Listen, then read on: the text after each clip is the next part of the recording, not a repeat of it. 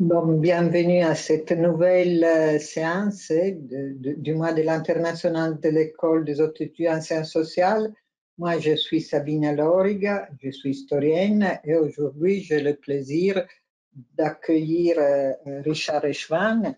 Richard est un anthropologue, psychiatre et psychanalyste et il est directeur d'études ici à l'École des hautes études. Euh, il a créé euh, un dispositif important de, consultation psychiatrique pour les réfugiés cambodgiens et, euh, je dirais, ses recherches à la confluence des sciences sociales et de la psychanalyse, de la pratique et de la théorie. ces recherches, comme je viens de le dire, permettent d'interroger l'expérience de la violence la notion du traumatisme et celle de euh, subjectivité. Alors, je rappelle euh, très brièvement hein, trois euh, publications majeures de Richard. D'abord, L'Empire du traumatisme, enquête sur la condition de victime, qui a été coécrit avec Didier Fassin et qui a été publié, si je ne me trompe pas, en 2007 et ce livre s'attache à montrer comment dans les dernières décennies, le traumatisme a acquis, je dirais, droit de cité, on pourrait dire, en dehors de cercles fermés de la psychiatrie et de la psychologie, et aussi comment, euh, je dirais, la figure de, la victime a été reconnue et est devenue, euh, je dirais, une, une figure très importante dans l'espace public. Un deuxième livre différent, c'est un roman intitulé Les Vivants, qui a été publié en 2013 et dans lequel Richard Reichmann raconte le génocide cambodgien, euh, notamment la, dissolution des familles, l'effacement des traditions politiques, intellectuelles, culturelles, ainsi que la destruction psychique des individus exécuté par le Khmer euh, rouge. Donc, euh, ce, deuxième livre, c'est un peu, un peu la particularité d'être écrit dans une forme fictionnelle, mais c'est aussi justement cette forme qui permet à Richard de restituer l'expérience antérieure euh, du génocide. Et enfin, euh, La vie ordinaire des génocidaires, qui a été publié il y a deux ans par les éditions du CNRS, dans lequel, euh, dans ce livre, euh, Richard part du, phénomène du, terrorisme djihadiste qui a touché la France en 2015, en particulier en 2015 et dans les années suivantes, et euh, je dirais, Richard analyse la vie ordinaire des de, de, terroristes, des petits exécutants, des génocidaires, et, ils sont le quotidien dans lequel les hommes euh, s'accommodent, on pourrait, dire, d'exécuter chaque jour des dizaines euh, d'individus. Alors, Richard anime à l'école, euh, anime et coordonne deux séminaires. Hein. Un séminaire sur la question de la jeunesse dans la guerre, euh, qui est consacré justement à l'engagement juvénile dans la violence, et, d'autre part un autre séminaire, psychanalyse et sciences sociales, sur les rapports complexes, parfois difficiles, mais toujours très intéressants, entre les sciences sociales et, la psychanalyse. J'ajoute, j'espère qu'à la fin, peut-être on pourra dire deux aussi sur ça, que Richard est en train de lancer un réseau international de chercheuses et de chercheurs euh, qui euh, font des terrains euh, dans des situations très difficiles et qui donc doivent, je dirais, faire face à des violences extrêmes. Si nous en avons le temps, peut-être je demanderai à Richard de dire deux mots aussi sur ce, ce projet. Voilà, donc je te laisse la parole. Merci beaucoup, Sabina. Merci beaucoup pour cette invitation à parler euh, dans, dans ce mois de l'international de l'EHESS et merci beaucoup de, cette présentation. Je suis, euh, comme toujours, ravi de pouvoir dialoguer avec toi et sur des questions qui me touchent très à cœur et qui commencent aussi à réémerger au sein de, l'école des hautes études, de s'interroger sur la place de la psychanalyse euh, dans le cadre général euh, des sciences sociales. Alors, je dis se réintéresser parce qu'il est vrai que c'est une histoire ancienne, très ancienne, qui date depuis le début de la psychanalyse et depuis le début même des sciences sociales, que d'essayer d'imaginer qu'il puisse y avoir un lien entre les sciences de l'homme, point de vue du point de vue du social, et les sciences de la psyché du point de vue de la singularité. Singularité opposée au collectif.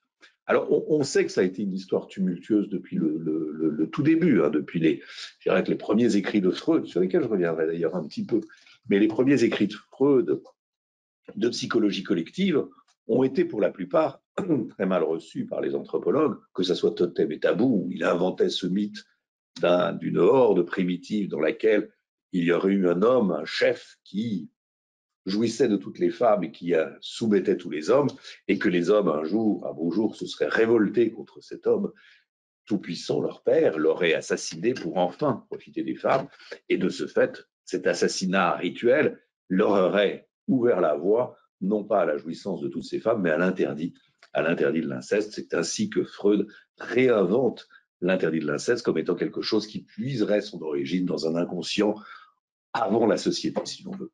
Je, ne pense pas que Freud, même s'il a dit à un moment que c'était le livre le plus important de sa vie, croyait à cette, chose-là. Et quand il a dit que c'était le livre le plus important de sa vie, il faut bien voir qu'il était un petit peu obligé, à cette époque, on est en 1913, je crois, euh, de fonder, de fonder la psychanalyse historiquement et de fonder les découvertes de la réalité psychique dans une histoire qui la précéderait. Parce qu'en fait, le cœur même de Totem et Tabou, c'est de montrer qu'il y a une réalité psychique qui est parfois plus importante au niveau de chaque sujet que la réalité historique. Et que ce que l'on ressent psychiquement a autant de valeur que ce que l'on voit, que ce que l'on vit, même parfois plus, puisque la réalité historique, la réalité matérielle, c'est quelque chose dont on peut après tout douter. On peut se méfier de ce que l'on voit, on peut se méfier de ce que l'on entend, mais finalement, Freud nous laisse entendre que l'on ne se méfie pas de ce que l'on croit savoir à son insu dans l'inconscient qui va être ce qu'il a appelé la réalité psychique.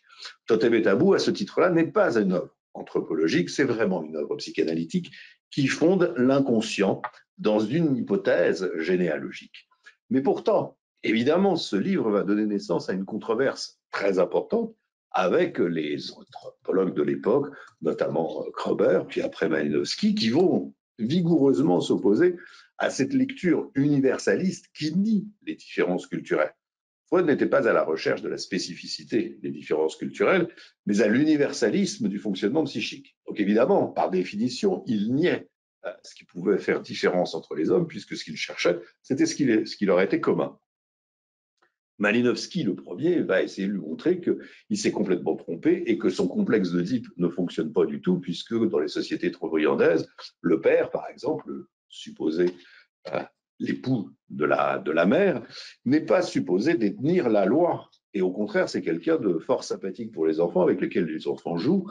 Il n'est pas du tout cette figure tutélaire, inquiétante, susceptible de promouvoir la castration, mais qui existe quand même, qui est détenu par la figure de l'oncle maternel, celui qui est finalement celui qui va donner la filiation, puisqu'on est dans une société matrilinéaire dans les électrobrillants, et que la filiation se fait par les femmes.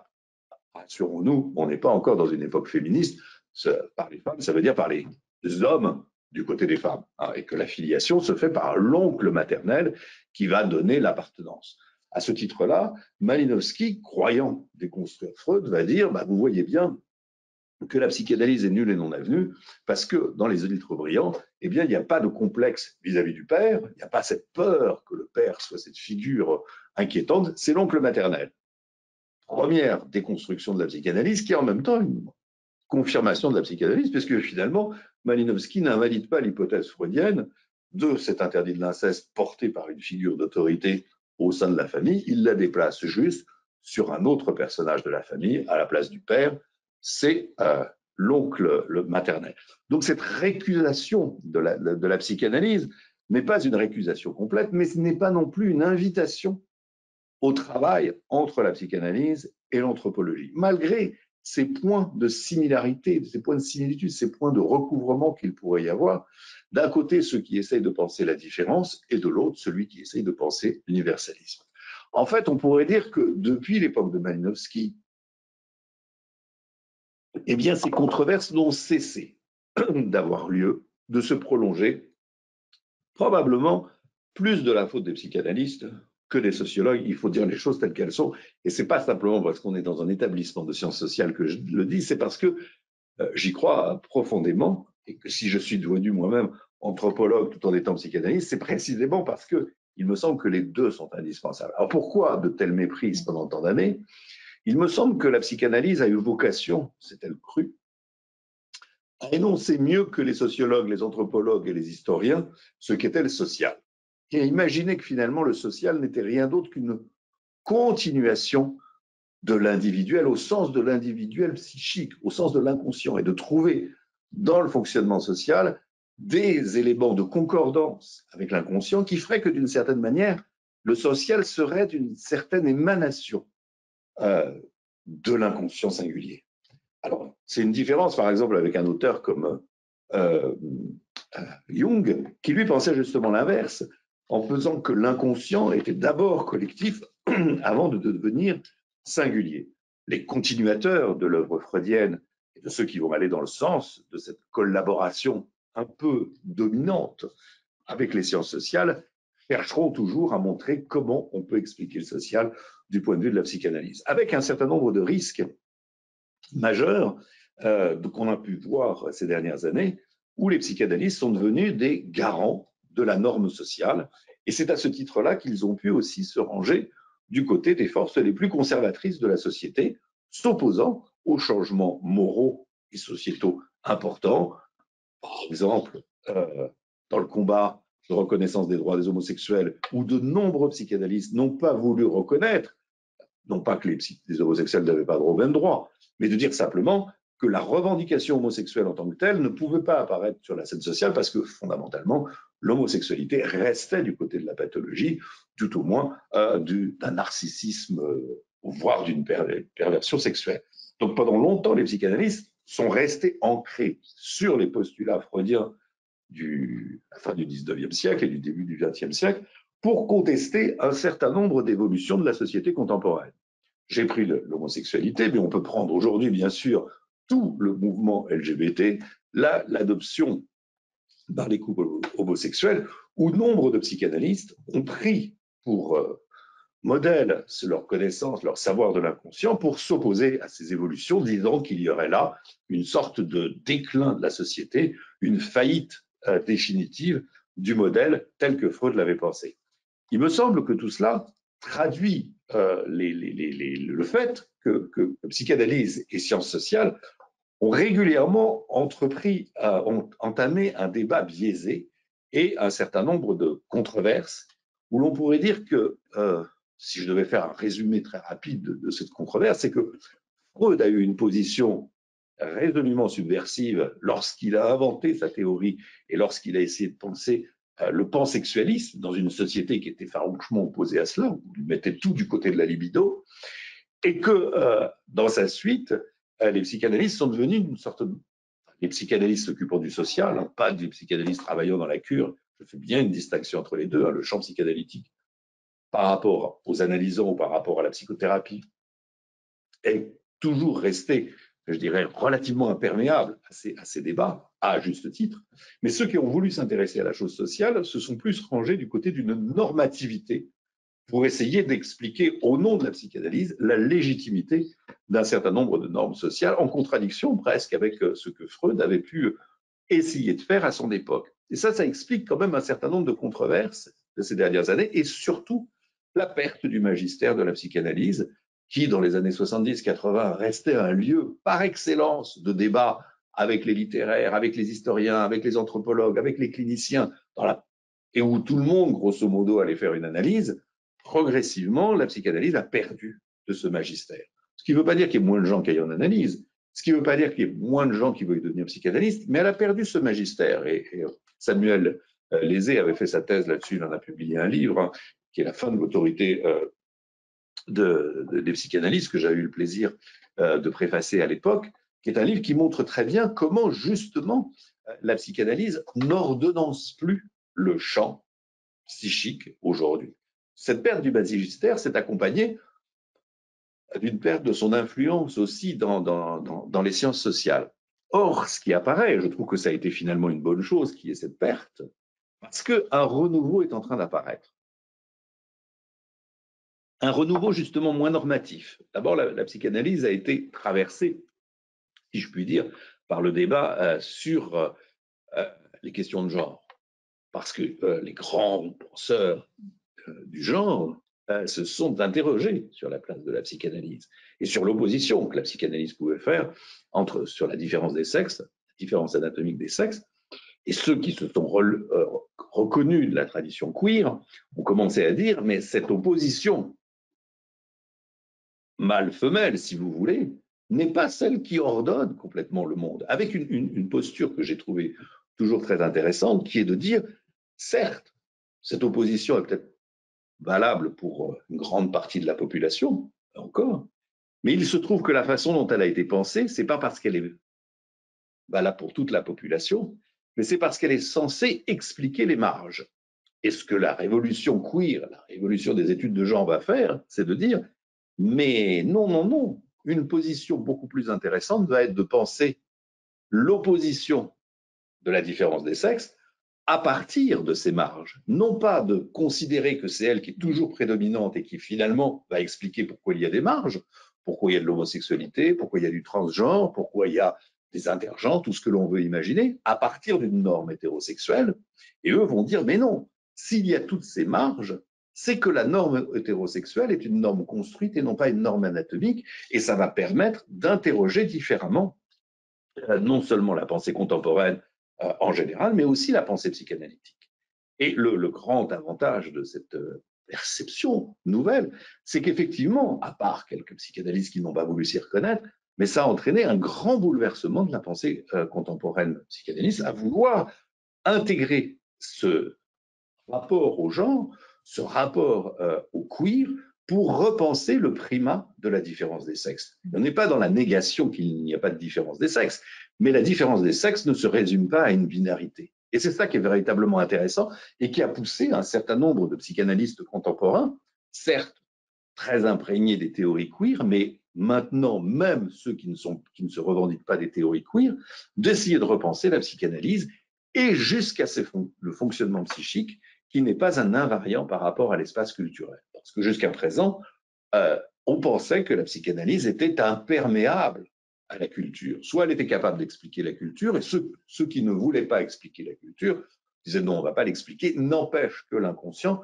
est imperméable à l'évolution de la culture. Or, il se trouve qu'un mouvement contemporain, et qui va justement permettre un nouveau dialogue entre sciences sociales et psychanalyse, dit, mais vous vous trompez là-dessus. Si la psychanalyse est pertinente aujourd'hui, alors il faut la mettre beaucoup plus dans un rapport avec le contexte social, culturel, politique d'une époque. On ne peut pas dire que les processus psychiques inconscients sont totalement indifférents à euh, ce qui se passe dans l'espace social. Ils ne sont pas la traduction complète, mais ils doivent pouvoir non pas les expliquer, parce que c'est ça le problème. On a toujours voulu expliquer les mouvements de la société par des mécanismes inconscients, mais dire à l'inverse, les mouvements de la société démontrent qu'il y a des mécanismes inconscients qui n'étaient pas ceux qui étaient prévus auparavant et qui était prévu dans les fondements de la psychanalyse de départ. Donc on peut être dans une relation plus ouverte à la psychanalyse en intégrant les disciplines qui lui ont posé problème. Et ça, je dirais que c'est une avancée considérable de la psychanalyse qui existait dans les années 70-80, hein, puisque si on revient à ça, quand par exemple Lacan s'est intéressé au structuralisme et a fait un compagnonnage avec Lévi-Strauss, qui, plus que Lévi-Strauss, était antipsychanalyste. La pensée lévi-straussienne est vraiment résolument pas euh, psychanalytique. Lorsqu'il y a l'inconscient lévi-straussien, c'est juste la fonction symbolique qui permet de faire la différence entre A et noir. Ça se résume à ça. Il n'y a pas de mécanisme inconscient, il n'y a pas tout ça. N'empêche que Lacan a eu l'audace de s'intéresser à l'anthropologie structurale et à l'analyse structurale pour l'intégrer dans la pensée psychanalytique. Aujourd'hui, c'est plus, ça a été, aujourd'hui, ça recommence à être possible. Mais il y a une dizaine d'années, c'était impossible, ce mouvement-là. Et c'est vrai que ce grand bouleversement a été fait euh, par euh, les théories issues euh, de la pensée queer. Et je pense que ça, c'est une, une, des premières révolutions. Ce qui amène des chercheurs contemporains comme Hervé Mazurel, qui a publié un livre que je trouve très intéressant sur l'histoire, enfin, l'oubli de l'histoire dans la psychanalyse, qui justement traite de ce point précis que j'évoquais là. La psychanalyse, c'est pensé comme étant anhistorique, c'est-à-dire que les contenus historiques rentraient dans les mécanismes mis en évidence par la psychanalyse. Lui, ce qu'il essaye de montrer, c'est que même les mécanismes ne peuvent pas être pensés comme étant imperméables et qu'il y a une historicité et une historicisation à faire.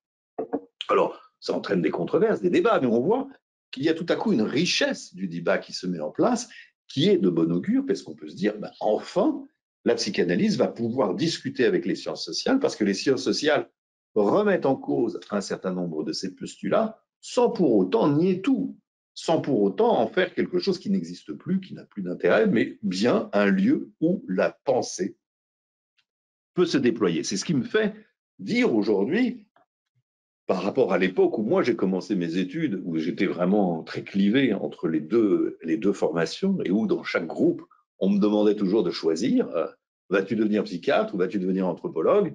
Et je disais, mais et tout le monde me disait, mais il faut que tu choisisses. Et je ne répétais en permanence à qui voulait l'entendre, mais j'ai choisi. Ah, qu'est-ce que tu as choisi? Les deux. Mais ce n'est pas un choix, ça c'est un choix.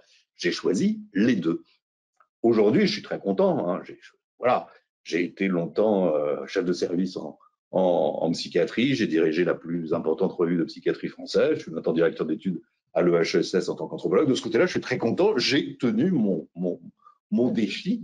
Mais c'est pas d'être les deux, c'est d'être à l'interface justement entre les deux, d'essayer de penser pas le lien entre les deux, mais ce que chacune me permet de penser sur un objet que j'essaie de, de construire et qui est effectivement cet objet qui touche à la question des subjectivités subjectivité à la fois en tant que clinicien, où je les entends, bien sûr, et aussi en tant qu'anthropologue, où c'est un champ contemporain fondamental. La question de la subjectivité est devenue un enjeu crucial. C'est au nom de la subjectivité qu'un certain nombre de choses se, décident. Par exemple, tu citais tout à l'heure les, travaux sur le traumatisme psychique.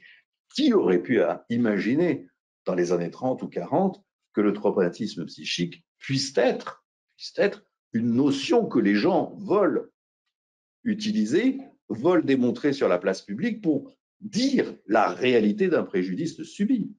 Jusqu'aux années 60, un traumatisme psychique, ça désignait au mieux la faiblesse d'une personne, au pire sa lâcheté, en tous les cas, ce n'était pas quelque chose à laquelle on pouvait s'identifier.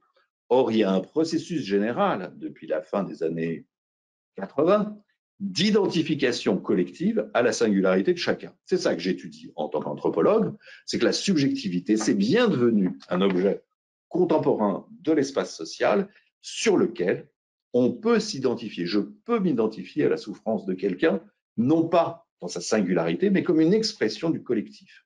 L'exemple que j'ai l'habitude de, prendre pour cela, c'est celui des, des suicides en entreprise. Dans les suicides en entreprise, jusqu'au suicide qu'il y a eu euh, chez euh, Renault euh, et, France Télécom, c'était au début des années 2000, je crois, je ne me souviens plus là. Et, eh bien, un suicide en entreprise, c'était l'acte d'un désespéré. Ça restait une notion singulière, individuelle. On n'y est pas que l'individu ait pu avoir des problèmes. On n'y est pas que cet individu pouvait souffrir. On n'ignorait pas. On disait simplement il n'y a pas de lien de cause à effet entre les conditions de travail et son acte. Et en tous les cas, même s'il y en a, c'est qu'il avait des facteurs prédisposants chez lui qui le rendaient plus apte que les autres, plus apte que les autres à développer cette pathologie qui l'amènerait à suicider. Donc il n'y avait pas d'identification possible à la souffrance individuelle parce que cette souffrance individuelle renvoyait à une singularité, entre guillemets, honteuse. La façon dont les suicides à France Télécom ont été gérés à un moment où l'entreprise perdait de son magistère, où, l'entreprise, où l'entreprise publique devenait privée et où les syndicats perdaient de leur magistère, où les luttes sociales étaient inentendables dans la société, où on disait, enfin, ce sont des privilégiés, ce sont des gens il y avait plein d'acquis. On va, qu'est-ce qui, nous embête avec leurs histoires de perdre quelques-uns de leurs acquis, rentrer dans l'eau comme tout le monde? Je caricature, bien sûr. Mais en tous les cas, ils euh, n'entraînaient pas un enthousiasme dans la population du tout, dans le registre des droits sociaux qu'ils étaient en train de perdre. Tout à coup, les suicides en entreprise, pas beaucoup, eu égard à l'ampleur de l'entreprise, et où finalement le chiffre en valeur absolue n'était peut-être pas tellement supérieur à ce qui avait pu exister auparavant dans des grandes entreprises, a pris une toute autre signification. Le geste du suicide est devenu la preuve qu'il y avait une maltraitance psychique des salariés, à laquelle tout à coup, tout le monde pouvait s'identifier. Première fois, on peut dire qu'on s'identifie à une souffrance psychique. Mmh. S'identifier à la, à la souffrance d'un fou, jamais. On pouvait être, entre guillemets, sympathisant avec les fous, on pouvait dire c'est terrible leurs conditions, mais ce qu'un fou disait, il ne disait rien d'autre que la folie. Avec la souffrance psychique, ce quelqu'un qui souffre de souffrance dit quelque chose du monde social, possibilité d'identification, possibilité de prise en considération, et donc de mouvements sociaux qui vont dessus. C'est cela, s'intéresser aux formes contemporaines de la subjectivité, et c'est en cela que c'est vraiment un objet de science sociale, puisque Bien sûr, il y est question d'une singularité individuelle, mais on va la faire jouer comme un moteur de l'action publique, de l'action militante, de la façon dont elle va dire quelque chose de la réalité collective sur laquelle nous nous trouvons les uns et les autres. Ça, c'est le travail que je mène depuis un certain nombre d'années sur euh, les mouvements que euh, la prise en charge psychologique traduise euh, dans la façon que nous avons de penser le collectif à partir d'une supposée singularité individuelle qu'on pourrait appeler la subjectivité. Donc, on voit bien que dans, dans ce contexte-là, je ne donne pas de signification particulière à la subjectivité. Je ne lui donne pas une définition psychologique, ni psychanalytique, ni philosophique. Je n'en donne même pas une, une définition foucalienne, même si je me rapprocherais plus de Foucault là-dessus. J'en donne une définition qui est ce par quoi on va justifier une action politique légitime, et notamment à travers le fait que, jusqu'à présent, ce n'est pas possible d'accepter que quelqu'un souffre psychiquement, par exemple, des conditions de travail. On va accepter qu'il ait une diminution de son salaire, on va accepter, je caricature là encore, qu'il vive mal dans son appartement, on va accepter tout un tas de privations qui autrefois généraient des luttes sociales, on va dire, bah oui, mais c'est comme ça. Mais s'il en souffre, à ce moment-là, on touche un intolérable qu'auparavant, on ne touchait pas du tout. Si l'on souffre psychiquement, là, il y a une mobilisation qui se met en place. La question n'est pas de savoir s'il souffre réellement de cela ou s'il n'en souffre pas, mais cette nouvelle visibilité sur laquelle les uns les autres peuvent, euh, peuvent évidemment s'accrocher. Donc on voit que là, il y a un petit espace de travail avec la psychanalyse, c'est-à-dire de, de pouvoir intégrer comment la psychanalyse est devenue aussi un des enjeux de la nomination, si l'on veut, du mal dans l'espace social, c'est-à-dire ce qui est, ce qui fait mal, ce qui fait souffrir, ce qui détruit les individus, a amené aussi un certain nombre de psychanalystes à prendre une place sur l'espace public pour témoigner, pour dire un certain nombre de choses qu'auparavant on n'aurait jamais imaginé qu'il soit le moins du monde légitime, par exemple pour se prononcer, je prends un exemple simple hein, pour illustrer mon propos, de se prononcer sur la légitimité ou non que les couples homosexuels aient des enfants. Au nom du fait que ça serait très dangereux pour les enfants. Et sur le plan euh, purement empirique, est une, est une surprise. Parce que ces psychanalystes qui soignent, entre guillemets, des, gens, ils soignent que des enfants de couples hétérosexuels. Donc normalement, s'ils avaient un raisonnement logique, ils diraient arrêtons les enfants nés de couples hétérosexuels parce que 100% de mes patients sont nés d'un mariage hétérosexuel c'est pas cet argument logique qui prévaut, c'est une anticipation sur le fait que si quelque chose change dans l'espace moral de la société, alors ça va avoir des conséquences. Ce qui est intéressant pour moi d'analyser là, c'est que la légitimité de ce discours, on peut être d'accord, on peut ne pas être d'accord, il est légitime dans l'espace social qu'on puisse anticiper de futures problématiques psychologiques ou psychopathologiques des lois, des décisions que l'on va prendre, comme aujourd'hui se passe sur l'utilisation d'hormones pour euh, changer de, sexe.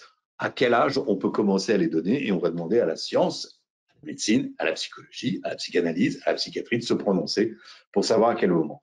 Donc on voit bien que cet objet qui tourne autour de la subjectivité n'a pas besoin d'être défini dans son contenu pour qu'on mesure les effets que ça a euh, dans le champ social et dans les mobilisations que l'on peut analyser. Alors je vais prendre un exemple un tout petit peu plus euh, un petit peu différent pour illustrer ce, point. Tu me sur le temps parce que moi je oui, pas attention. Non, mais c'est passionnant. Donc, euh, même si jusqu'à maintenant tu parles surtout, je dirais, des limites de, de la psychanalyse. Après, j'aimerais aussi savoir quelque chose sur les limites des sciences sociales. Voilà. Mais alors, c'est une excellente question. C'est vrai que j'en je, parle peu pour une raison euh, euh, toute simple, c'est que ça fait maintenant 30 ans que je travaille sur ces questions, en ayant toujours essayé de tenir la psychanalyse à distance pour éviter ce, ce, cette soif de surinterprétation que la mmh psychanalyse peut avoir sur les sciences sociales.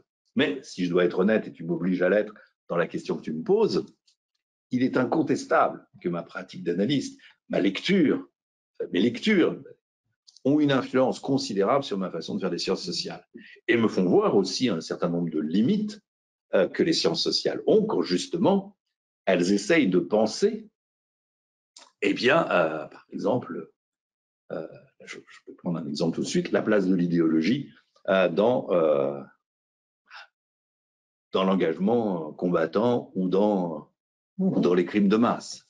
Là, euh, le sociologue, l'historien, va essayer de construire un modèle, on pourrait dire presque linéaire, entre le niveau de l'autorité, le niveau de la propagande, l'idéologie, l'acceptation de l'idéologie et les actes criminels.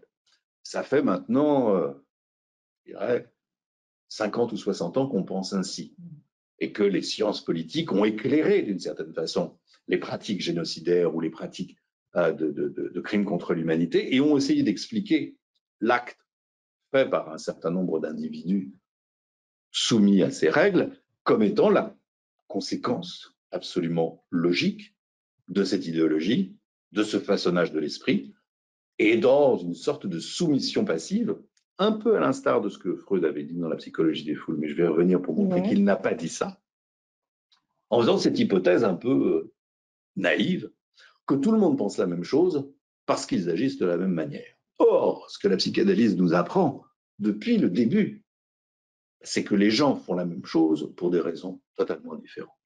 Ce petit point de subversion est absolument fondamental pour comprendre un certain nombre euh, d'actes qu'il y, a dans la, y a dans la société. Moi, c'est ce qui m'a aidé le plus pour essayer de comprendre euh, bah, justement la vie ordinaire des génocidaires.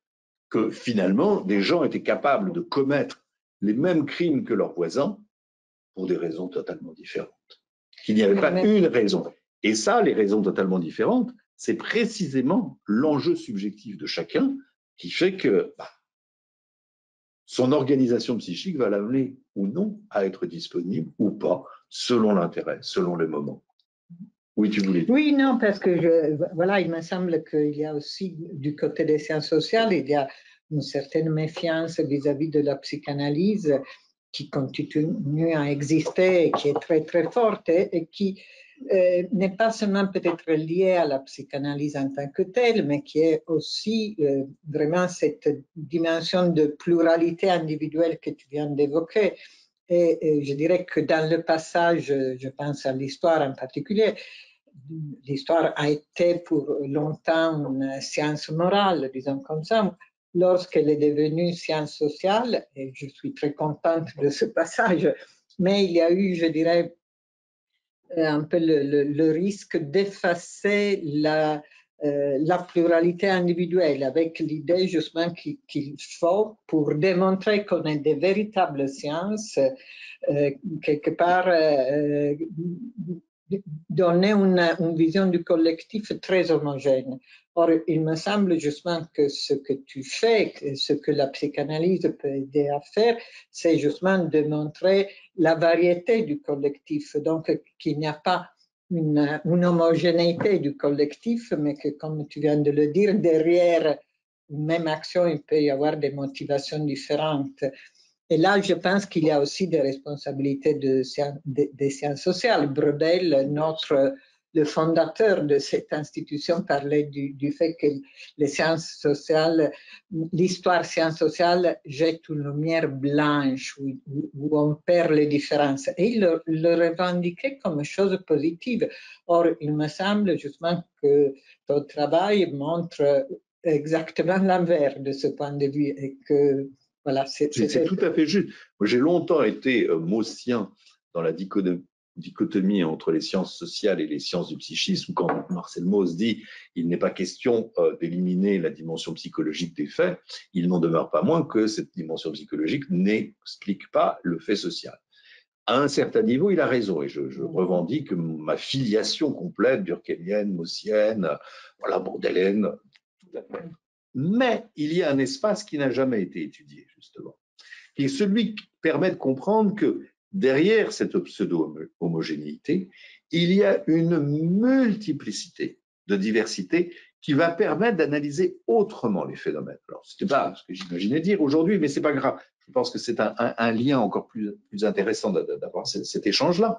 Euh, si on prend par exemple le, cas des, génocidaires, on a souvent imaginé que les génocidaires étaient soit des gens sadiques, pervers, les plus méchants et tous ces trucs-là. Bon, ça, c'est pas étonnant hein, que les, plus méchants, les plus sadiques, les plus pervers se livrent aux crimes les plus épouvantables en période de, de, massacre de masse. Ce qui a toujours été un élément de surprise, c'est qu'il n'y avait pas que. Parce que si on met à la ligne, on fait le calcul de tous les gens qui ont commis des crimes absolument épouvantables, que ce soit qu'on on se dit c'était tous des pervers, bah, on se rend compte qu'il y a plein, plein d'autres crimes qui ont été faits par des gens qui n'étaient pas pervers. Dans un premier temps, la lecture psychanalytique a été justement de dire bah, ceux qui commettent ces crimes-là, finalement, sont dans un état de déni par rapport à la réalité de ce qu'ils font. Ils ne s'en rendent pas complètement compte. Soit il y a un déni, soit il y a un clivage. On essayait d'expliquer l'impossible. Mais un impossible, ça c'est un point très important sur mhm. lequel je, je m'appuie en tant que psychanalyste, l'espace social a défini un certain nombre d'interdits. Dans ce mouvement où le psyché prend une place importante, on a voulu faire correspondre l'interdit et l'impossible. C'est-à-dire que ce qui est interdit socialement devait par définition être impossible psychologiquement. C'est impossible de tuer des gens. Et donc, on va inventer les mécanismes psychiques qui permettent de justifier que c'est quand même impossible, mais que ça a été possible. Et c'est en cela qu'il y a eu pendant un temps un partenariat avec la psychanalyse, mais à mon sens, qui trahissait euh, le propos même de la psychanalyse, qui ne cherche pas, et Freud le dit très très bien, il n'y a pas de bien et de mal au niveau de l'inconscient. Ça veut dire quoi? Ça veut dire que les deux choses coexistent et qu'aucune des deux ne va déterminer la, façon dont les individus vont se comporter à la fin du fin. Et c'est ce qu'il dit dans un texte magistral qui est Pourquoi la guerre, qui lui avait été commandité par euh, Albert Einstein juste avant la Seconde mhm. Guerre mondiale et qui espérait réunir une somme de chercheurs, les plus grands scientifiques, qui permettraient de nous protéger de l'avènement de cette guerre qu'on sentait poindre, et où Freud va avoir cette réponse déconcertante, mais la psychanalyse n'y peut rien. Et alors on va mal interpréter aussi souvent cela en disant, il est en train de nous dire que le pire va venir. Non, il ne dit pas que le pire va venir.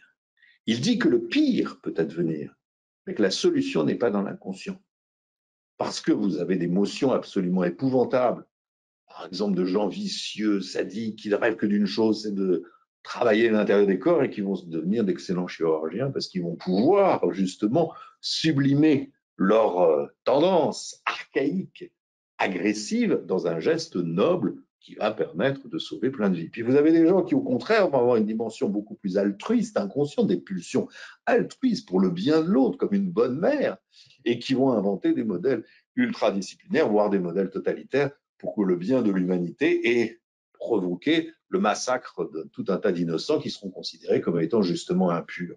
Ce que Freud montre, c'est que ce n'est pas l'inconscient qui fait le partage. Ça, c'est une chose que je trouve essentielle pour le travail le partenariat avec les sciences sociales. C'est-à-dire que la limite entre les deux disciplines nous permet de penser beaucoup plus de choses. Si je reviens au niveau de, ces tueurs de masse, on a souvent pensé qu'il y avait une sorte, même chez ceux qui n'étaient pas sadiques, une pulsion de mort qui était vraiment agitée chez eux, et une jouissance à produire euh, cette mort chez l'autre et à torturer l'autre. En fait, quand on commence à écouter les récits de ces hommes qui ont pratiqué la violence, la torture, on se rend compte qu'il n'y a pas tellement de jouissance là-dedans et que d'abord c'est un métier qui est difficile, qui est lourd, que comme tout le monde, ils s'occupent d'eux d'abord, ils cherchent à ne pas se blesser, ils cherchent à pas être gênés par les odeurs et que surtout ils ne sont pas en rapport avec la victime. Ce qu'on avait toujours imaginé, c'est qu'il y avait un duel entre le tortionnaire et sa victime et une jouissance majeure vis-à-vis de sa victime me semble pas vrai. Est-ce à dire que la psychanalyse ne peut rien expliquer? Ben si, justement, elle explique tout. Elle explique tout au sens où ce, cet, cet auteur d'atrocité, il est en lien avec ses collègues. Et s'il va jouer ses pulsions sadiques, ou s'il va jouer son altruisme, ou s'il va jouer sa jalousie, il va jouer avec les gens qui l'entourent. Par exemple, il va vouloir se faire bien voir d'un chef, il va vouloir avoir un intérêt. C'est-à-dire que tout ce que la psychanalyse au quotidien nous explique du fonctionnement des hommes nous permet de comprendre ce geste justement en excluant le geste lui-même. C'est-à-dire qu'on s'est focalisé sur l'acte de tuer alors qu'il fallait se focaliser, à mon sens, sur l'ensemble de la vie, comme justement le psychanalyste fera. C'est pour ça que la psychanalyse m'influence considérablement. Ne jamais élire un acte ou un fait comme étant l'essentiel. C'est ce qui apparaît soit dans la cure quand on est analyste, soit sur le terrain quand on est anthropologue, qui devient le fait marquant à partir duquel on peut analyser l'ensemble.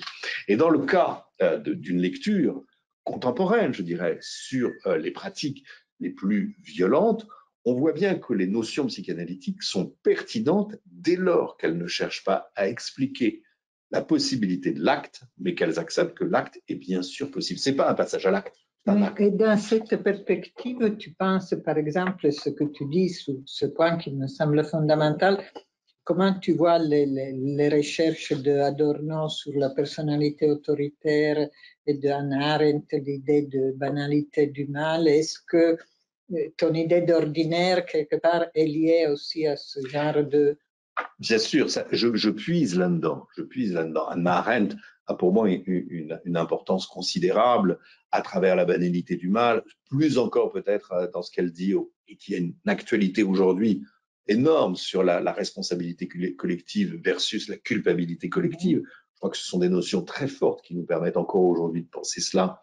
Euh, mais chez Arendt, je pense que la banalité du mal, c'était juste, c'était même pas un concept, hein, c'était juste une façon de dire euh, que, euh, que, que, que, Eichmann n'était pas la figure du monstre par excellence. Oui, et, et, part exactement de ce que tu viens de voilà. dire, c'est-à-dire il s'aperçoit qu'il n'était pas un sadique, euh, mais qu'il y avait quelque chose dans le contexte qui ne justifie pas, non. mais qui euh, amène euh, à, à, certaines conduites. Qui amène à certaines conduites parce qu'il y trouve un intérêt, parce qu'il y trouve un certain plaisir, parce que pas forcément à tuer des juifs, il le dit lui-même, moi j'en ai tué aucun, euh, tous, ça aurait pu être autre chose qu'il tue. L'essentiel pour lui, c'était la carrière que ça lui permettait de faire. Et c'est ça qu'elle montre très bien, et c'est ce qu'elle dit dans la banalité du mal, c'est la médiocrité, plus exactement, d'un homme comme Eichmann, qui n'a rien d'un penseur, qui n'a rien d'un homme exceptionnel, et qui, dans ce contexte particulier, va devenir une figure importante. Il n'aurait jamais eu ce grade, il n'aurait jamais eu autant de responsabilités avec sa seule personnalité. Donc c'est en ça que, la banalité du mal est très intéressante. Après, si on la localise au niveau de l'exécutant, parce qu'Eichmann n'était pas un exécutant, à ce moment-là, on, change un petit peu la focale. On peut imaginer que, comment il s'appelle, euh, Eichmann était vraiment euh, très convaincu aussi parce qu'il faisait le souverain bien qu'il était en train de défendre. Je suis beaucoup moins sûr que les petits exécutants soient convaincus de, du souverain bien de ce qu'ils font. Parce qu'ils sont beaucoup moins idéologisés qu'on peut l'imaginer. En tous les cas, ce n'est pas l'idéologie qui les porte. Ça, c'est le travail que j'ai fait avec un certain nombre de, de, de petits exécutants Khmer rouges, et où, au début, hein, j'imaginais, comme tout le monde, hein, que c'était l'endoctrinement qui était euh, la question centrale et qui expliquait leurs actes. Ils passaient des heures et des heures à suivre euh, des cours d'endoctrinement où ils devaient répéter à l'envie tout ce que le parti leur conseillait de faire et tout cela. Et en fait, certains avouent avec beaucoup de naïveté que ils n'écoutaient pas quoi. comme les étudiants, ils n'écoutent pas quand il y a 10 heures de cours, à la suite, bon, ils pensent à autre chose, et puis à la fin, quand il faut répéter le truc, ils répètent, et puis ils sortent. Non, il n'y a pas de lavage de cerveau. Le lavage de cerveau, ça n'existe pas. Dès lors qu'on imagine que le lavage de cerveau n'existe pas, alors effectivement, on imagine que euh, les individus sont capables d'agir et d'accepter des choses pour des raisons éthiques, pour des raisons politiques, mais pas forcément pour des raisons politiques. C'est ce que Freud avait quasiment pensé dans Psychologie des foules et Analyse du moi, et qu'il a un peu raté sur la fin, puisque il suit un peu les idées de Lebon, euh, Lebon qui était donc un psychologue euh, qui, avant Freud, qui imaginait que la psychologie était d'abord collective avant d'être individuelle. Et qu'au fond, dans le mécanisme de la foule, lorsque la foule se déclenchait, se déchaînait, eh bien, c'était la psychologie collective qui reprenait le pas sur cette psychologie individuelle et qui faisait que chaque individu se fondait dans le discours du maître. Freud va dire que c'est pas exactement comme ça que ça se passe, en fait. Euh, d'abord parce qu'il ne croit pas à l'existence d'une psychologie collective qui serait première avant la psychologie individuelle. Il pense que la psychologie individuelle est d'abord et avant tout première. Et les, effets que ça a sur le collectif, il ne les nie pas, au contraire, il va chercher à les avoir, mais il ne pense pas à un lien, je dirais, de, de généalogie entre une psychologie d'abord collective et ensuite individuelle. Donc le phénomène de la foule l'interroge, parce que c'est contradictoire avec la théorie psychanalytique, qui fait que normalement, personne ne devrait abdiquer de son moi par rapport à celui d'un autre, du fait de la pulsionalité, de la question de la jouissance, du plaisir. Ça, ne fonctionne pas. C'est pour ça qu'il va faire cette hypothèse, contrairement à Le Bon, d'imaginer que le leader occupe une place particulière et que les gens de la foule vont lui déléguer leur surmoi et que finalement il va euh, occuper cette place d'un surmoi les gouvernants. Alors, cette perspective freudienne est très intéressante et en même temps, elle est un peu, elle est sans doute fausse parce que Freud n'avait pas de données empiriques qui lui permettaient de comprendre que dans une foule, bah, justement, les gens n'y étaient pas tous pour les mêmes raisons. Mais ce qu'il avait très bien perçu, c'est que la subjectivité de chacun devait s'effacer devant le leader. Et ça, je trouve que c'est un point très important. Comment on explique que chaque individu d'une foule puisse se soumettre au leader, c'est parce que sa subjectivité s'efface. Freud pensait qu'elle devait disparaître. C'est une erreur, à mon sens. Elle n'a pas besoin de disparaître. Mais qu'elle soit politiquement effacée, oui, ça c'est vraiment très intéressant. Donc Freud a perçu quelque chose. Politiquement effacée, ça veut dire quoi? Ben, Ça veut dire que quand on dit je, on doit dire nous. Le nous est supérieur au je. Le nous remplace chaque individualité. Chaque individu ne peut parler qu'au dos du groupe. Et d'ailleurs, on le voit très bien dans les mouvements populaires euh, issus, que ce soit les jeunesses communistes, jeunesses staliniennes et autres, hors de question de faire entendre un je. Donc on peut bien penser que la subjectivité est effacée. Mais si elle était véritablement effacée, alors quand il y en a un qui dit je, on ne devrait pas le mettre en prison. On ne devrait pas le poursuivre. La contradiction, là, est importante pour éclairer les sciences sociales, mais pour éclairer aussi la psychanalyse. Tout le monde est conscient que les subjectivités existent. Elles n'ont pas de légitimité politique. Pas de légitimité politique, c'est-à-dire quand je dis je, je suis en contradiction avec l'environnement politique. Le seul je qui existe, c'est le il du leader et tout le monde doit se fondre là-dedans. Ce qui ne veut pas dire que psychologiquement ou psychanalytiquement, les subjectivités disparaissent. Politiquement, ces subjectivités ne sont pas légitimes. Et justement, ça me permet de faire un lien mm. avec mes travaux plus récents, notamment ceux avec Ninufer Gullet sur les, mouvements de la place publique, où on voit un mouvement totalement inverse de celui de la foule qui se met en place, qui est un mouvement où les leaders sont absents. Il n'y a pas de leader. Alors, on peut, il y a plein d'explications sociologiques pour expliquer pourquoi il n'y a pas de leader.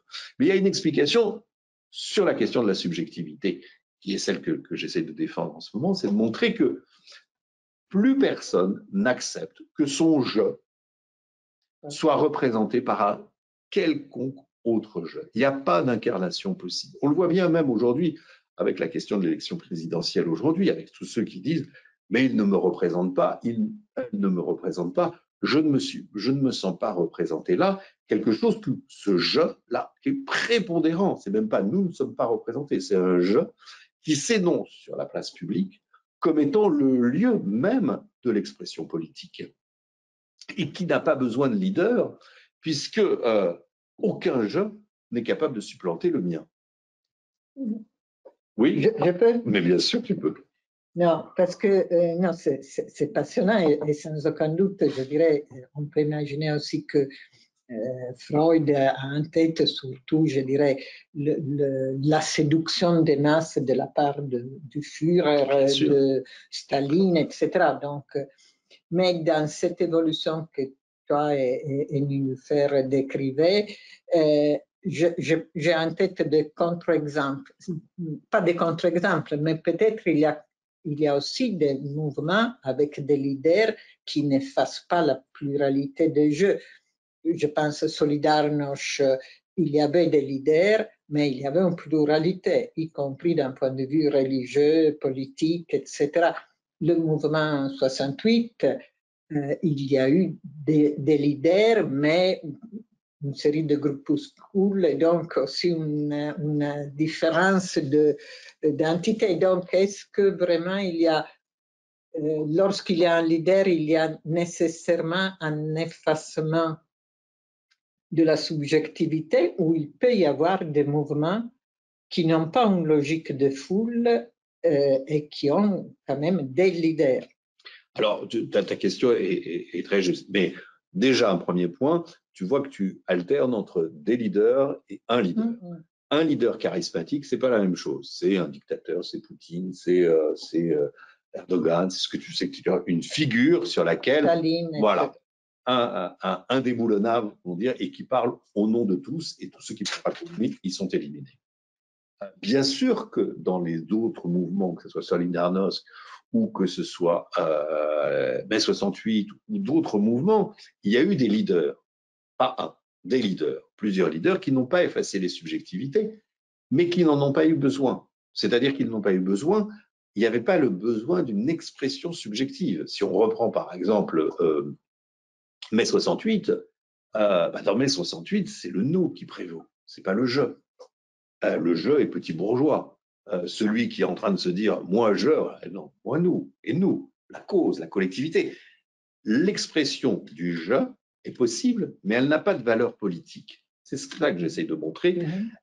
Or, dans les mouvements de la place publique, l'expression du je a une fonction politique, c'est-à-dire qu'elle est le point de départ de la posture politique que vont avoir les militants. C'est pour ça qu'il peut-être peut-être euh, faudrait spécifier donc le mouvement de la place publique. Oui. Tu penses à Maïdan, Maïdan euh, au printemps arabe. Euh, printemps arabe, euh, l'Égypte et aussi l'Espagne, enfin tous ces mouvements qu'on a vus naître avec une révolte de différents individus qui ne sont pas liés par des appartenances communes, mais qui, ont, qui vont partager une même indignation et qui vont prendre, euh, occuper l'espace public, c'est-à-dire l'espace qui appartient à tous, mais ils vont l'occuper comme une revendication topographique du lieu de la souveraineté populaire. Et dans ces mouvements-là, on n'a pas vu de figure charismatique apparaître.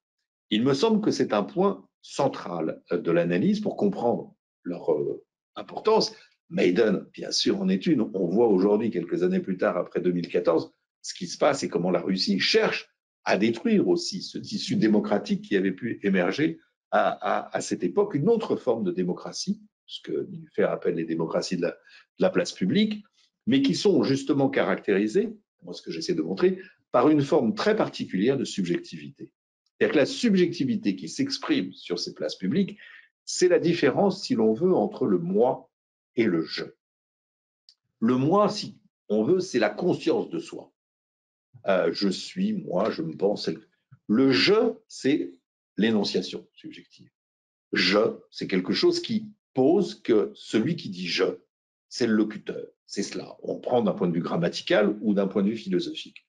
Et pour la première fois, on voit que cette instance du langage est devenue une, une sorte de déclaration euh, d'existence politique. C'est aussi comme ça qu'on peut comprendre pourquoi tant de revendications, même lorsqu'elles aboutissent, les gens peuvent répondre, c'était le cas parfois des Gilets jaunes, mais nous ne sommes pas entendus. Alors qu'ils avaient obtenu très vite satisfaction sur des points concrets. Mais leur demande était ailleurs. Alors, quelle était la demande? Le psychanalyste, il intervient justement. Quelle était la demande? Une, une demande d'être entendu comme un je qui s'énonce. Le je comme étant le lieu par excellence de la subjectivité. Là-dessus, j'ai été très influencé par la perspective déridienne, hein, mm-hmm. qui pose que, après Benveniste et la linguistique, où on dit que je, hein, c'est pas pareil que moi, euh, je, c'est l'instance non seulement d'énonciation, mais c'est le lieu par excellence de la subjectivité, au sens où personne ne peut mourir à ma place. Ce je, il a, il s'exprime comme la quintessence de la subjectivité au moment de la mort, puisqu'on peut dire plein de phrases, mais il y en a une qui est impossible de dire. On peut pas dire je suis mort. On peut pas. On peut dire je ne suis pas mort, et c'est précisément ce que ces mouvements de la place publique énoncent en permanence sur la scène sociale. Je ne suis pas mort. Vous ne pouvez pas me considérer comme un mort. Je.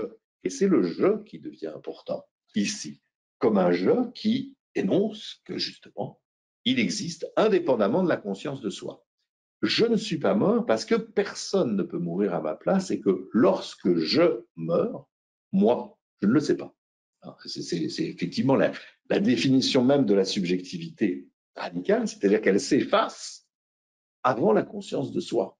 Ce Freud avait déjà anticipé ça hein, dans ses nouvelles euh, considérations actuelles sur la guerre et la mort, où il dit à la fin de ce texte que on ne peut pas prendre conscience, connaissance de sa propre mort. Ça reste un irreprésentable. Ça va être repris par Derrida sous une autre forme. C'est effectivement je meurs toujours avant moi. Ce moi de la conscience de soi disparaît pas nécessairement, puisqu'on va pouvoir parler de moi après ma mort, on va pouvoir dire tout un tas de choses sur moi, mais je ne pourrai plus ce jeu-là s'efface avec la mort radicale. Et bien justement, ce qui est très intéressant d'analyser, le sujet de l'annonciation, au sens justement où Lacan l'a pensé, hein, comme étant le lieu, euh, le sujet de l'énonciation chez Lacan, c'est un jeu qui est totalement différent de, du moi. Hein. C'est un jeu qui vient juste être une énigme pour, pour le sujet de la conscience. Et c'est qui ce je qui parle là? Je parle de moi, mais il y a toujours ce décalage entre je et moi, toujours un décalage entre le sujet de l'énonciation et le sujet de l'énoncé, quand par exemple je suis moi, moi est le sujet de l'énoncé, la prise de conscience, mais ce je qui sort de moi, il y a toujours ce, petit décalage. Ce que je trouve être une avancée très significative? Aussi parce que c'est de ce point de vue une figure moins, je dirais, héroïque, plus vulnérable quelque part. De ce point de vue, peut-être aussi le livre de Ricoeur, Soi-même comme un autre, oui. peut, Tout à fait, mm. tout à fait. Et on, voit tous les ponts qui sont possibles de faire avec une tradition philosophique, avec une tradition plus sociologique, où tout à coup, il y a, il y a là, je dirais, un enjeu crucial de penser ensemble psychanalyse et sciences sociales, parce que justement, il ne s'agit plus d'expliquer l'un par l'autre, mais de collaborer l'un avec l'autre dans une véritable interdisciplinarité pour essayer de comprendre ce que ça nous apporte. Qu'est-ce que ça nous apporte, ce rapport au signifiant qu'il y a chez Lacan? Qu'est-ce que ça nous apporte, ce rapport à la subjectivité non consciente et ce sujet de l'énonciation comme une énigme pour le sujet de la conscience? Eh bien, je trouve qu'on a des résonances tout à fait euh, importantes euh, dans la société d'aujourd'hui et que justement ces mouvements de la place publique nous montrent l'importance que tout à coup le jeu a comme une légitimité politique. Tout à l'heure, je disais l'effacement des subjectivités dans les mouvements collectifs de la foule ou même dans les mouvements politiques des années précédentes. Et aujourd'hui, on a un mouvement d'une accumulation de jeux qui fait que personne ne peut parler à ma place de moi, de je. Mais une, c'est pas important. J'ai pas besoin de me reconnaître là-dedans. Il faut qu'on se reconnaisse collectivement comme ces multitudes. Et ça, c'est un nouveau rapport aussi à la démocratie que euh, la psychanalyse peut, à mon sens, mieux analyser si elle n'est pas, comme je le disais au début, dans un jugement moral, en disant bah, c'est la faillite de tout, c'est la fin, ils se prennent pour des entités narcissiques, le truc. Non, tout ce jugement moral, tout ce blabla, pardonne-moi, je parle un peu brutalement là, mais c'est vrai qu'il faut l'oublier pour revenir à la radicalité de l'expérience analytique qui nous permet de comprendre véritablement des choses sans les juger, hein, sans les juger, euh, de ce qui est en train de se transformer dans l'espace social contemporain. Donc oui, je, je, je plaide vraiment pour renouer un dialogue très fécond entre psychanalyse et sciences sociales sur cette base-là de mm-hmm. collaboration étroite sur les concepts, sur ce qui nous permet de saisir, de saisir notre modernité, parce que ça, ça sert aussi euh, les, sciences sociales et, et, la psychanalyse dans ces temps troublés dans lesquels nous sommes. On a une urgence à penser la modernité et pas le passé. Quoi. Même les historiens nous aident à penser le présent aussi. Voilà un peu. Euh, mais écoute, euh, non, non, je ne sais pas, je ne vais pas t'interrompre. Si, si, vas-y, vas-y. Quelques... Dialoguons maintenant, dialoguons. Non, parce que hum, euh, donc il y a eu, il me semble, non, euh, voilà, rapport difficile, toujours très difficile, avec beaucoup de méfiance, de soupçons, etc.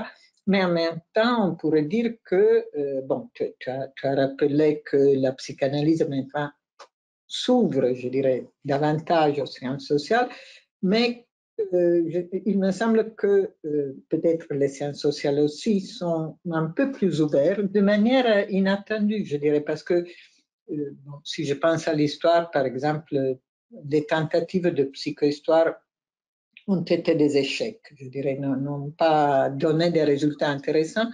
Mais il me semble qu'il y a un autre niveau sur lequel peut-être la réflexion psychanalytique est entrée, peut-être même sans en être conscient dans, le, dans les manières de faire.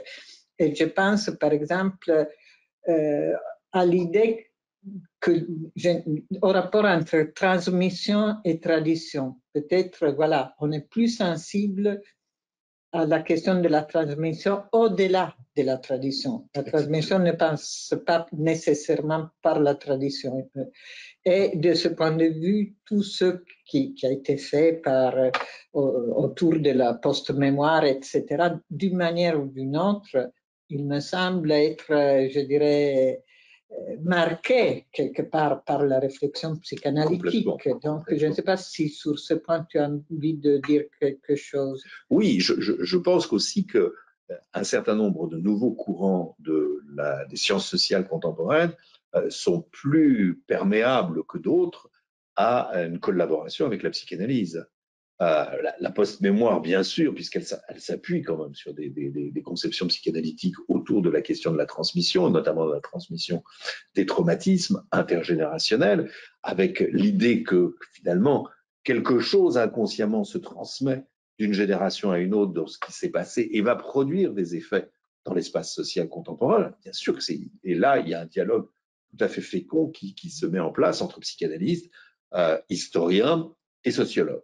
L'autre domaine où je dirais qu'il y a une grande fécondité à, à l'approche euh, entre les deux disciplines, c'est tout ce qui est euh, de, la, de, la, sociologie ou de l'anthropologie héritée, je dirais, post-Wittgensteinienne, avec, mmh. à partir de, de, de, Cavell et des travaux que Sandra Logier a introduits euh, en France sur les formes de vie et sur l'ordinaire, puisque là, on a quelque chose aussi qui, qui nous sépare un peu du carcan de la tradition et du carcan du poids de, de, des appartenances supposées pour travailler au plus près de ce qui fait le collectif du moment, de l'instantané. Est-ce que un, les groupes sociaux sur lesquels on travaille, par exemple en tant qu'anthropologue, on a longtemps travaillé sur des groupes sociaux qu'on supposait être des groupes d'appartenance ethniques, religieuses, en travaillant à juste titre hein, sur la façon dont ils avaient leur cosmologie, ils pensaient leur monde, leur tradition. Ce travail-là est très fécond et il a porté des résultats significatifs. Mais aujourd'hui, on a peut-être une exigence nouvelle qui est de se dire, mais avec la mondialisation, ces groupes sociaux euh, fermés, ces groupes ethniques ou d'appartenance, se sont ouverts au monde d'une certaine manière, et on a des individus qui partagent un même espace sans partager les mêmes, les mêmes appartenances. Est-ce qu'il faut les renvoyer systématiquement à leurs appartenances ou est-ce qu'il faut étudier la façon dont ils vivent dans ces nouveaux espaces où ce qui prime, c'est pas les appartenances hypothétiques, mais c'est la réalité respirer le même air, habiter le même quartier, se côtoyer, se marier entre de façon mixte, se détester, s'apprécier, manger ensemble, se faire découvrir des choses. Et ça, ça devient un nouvel objet que l'on peut aussi analyser avec des nouveaux concepts qui sont ceux qui viennent de la tradition wittgensteinienne, de forme de vie, d'ordinaire, et qui pour moi sont extraordinairement perméables à la pensée psychanalytique. D'abord, parce que je trouve que la notion d'ordinaire, telle que euh, Cavell l'a introduite, que euh, Sandra Logier l'a brillamment dit, Stanley Cavell, Stanley Cavell. Que, et que Sandra Logier a remarquablement euh, introduite en, France et développe largement, l'ordinaire, cette chose qui nous échappe, qui est tellement présente qu'on ne la voit même pas, c'est quasiment impossible à saisir, c'est l'ordinaire, a quelque chose à voir avec une notion freudienne que j'aime beaucoup, quelle inquiétante étrangeté. D'ailleurs, Cavell l'avait repris hein, euh, comme étant un, élément de pensée de l'ordinaire. Ça, je trouve que c'est quelque chose d'extraordinairement fécond, de reprendre une notion freudienne comme l'inquiétante étrangeté, de voir que cette inquiétante étrangeté, bien sûr, est une composante du fonctionnement psychique, mais aussi une composante presque cognitive du fonctionnement social dans notre rapport à l'ordinaire, où on ne le voit tellement pas qu'il a cette pseudo-familiarité avec nous, mais qu'on est incapable de discerner, même en tant que chercheur, il va falloir faire un effort considérable pour pouvoir le penser et, sortir de, cet effet. Donc ça, je trouve que c'est une perméabilité nouvelle qui est extrêmement intéressante. Et, je crois qu'il faut développer, revenir sur la construction freudienne de l'inquiétante étrangeté, faire un parallèle avec euh, la philosophie wittgensteinienne et les travaux des sociologues, que ce soit Albert Augien ou, ou d'autres qui ont utilisé ces notions-là, pour aujourd'hui avoir de nouveaux outils pour penser euh, ces, objets qui émergent. Donc moins sur les appartenances, plus sur les formes de vie. Et bien sûr, euh, moi je me retrouve complètement là-dedans et pour la première fois, je dirais, de ma, carrière, je me sens capable, entre guillemets, d'avoir envie, hein, c'est pas de le faire, mais d'avoir envie de recommencer à essayer de lier les deux. D'accord, très bien. Et cette question, il me semble aussi que la post-mémoire a changé quelque chose d'important dans la conception du temps, parce que euh, il me semble, je, pense toujours à, l'essai très beau par ailleurs de Deserto, Histoire et Psychanalyse, où il compare le, rapport au temps de l'histoire et de la psychanalyse, il dit le temps de l'histoire, c'est le temps de la succession et le temps de la psychanalyse, c'est celui de l'imbrication. Il me semble que les sciences sociales sont en train de découvrir le temps de l'imbrication. Oui. Donc, que les choses ne se suivent pas seulement, mais voilà, qu'il y a des surgissements des temps intérieurs euh, qui, qui, qui pèsent dans les actions. C'est très, très juste ce que tu dis. C'est une, et je, je, je crois qu'effectivement, De Certeau avait anticipé véritablement mm. sur, sur un mouvement qui est en train de se, se, se passer aujourd'hui, euh, qui est que la différence, par exemple, que Lacan a fait entre le temps euh, chronologique et, et, le temps de l'inconscient, en montrant bien que le, temps de la, compréhension analytique n'était pas un temps logique, n'était pas un temps chronologique, c'était un temps logique, d'autres choses. C'est quelque chose qui, qui, est très intéressant à saisir parce qu'effectivement, on peut comprendre comment ces, ces, ces ruptures n'en sont pas complètement. Elles sont, c'est une continuité, mais non logique. C'est une continuité avec des retours de choses qui n'étaient pas complètement pensées. D'où l'importance de travailler aujourd'hui sur les questions mémorielles, sans pour autant les sacratiser, mais les, les questions mémorielles, les questions de post-mémoire. Pourquoi certains événements, et notamment des événements traumatiques, vont faire collectif? Pourquoi cette mémoire-là est érigée en principe et non pas forcément des éléments victorieux, aussi des éléments dramatiques, vont créer le ciment d'une nouvelle identité collective. Et on le voit, euh, et, ça, on, le voit sous nos yeux, et ça, ça, ne s'inscrit pas nécessairement dans une histoire chronologique, ça s'inscrit justement dans une histoire qu'on pourrait dire plus disruptive, pour prendre un terme à la mode, mmh. et qui, qui me semble-t-il, a quelque chose à voir avec les découvertes analytiques, au sens de ce que la psychanalyse nous a appris de l'écoute des sujets. Et ça, je trouve qu'effectivement, c'est pour l'avenir, c'est très fécond, mm. très très fécond.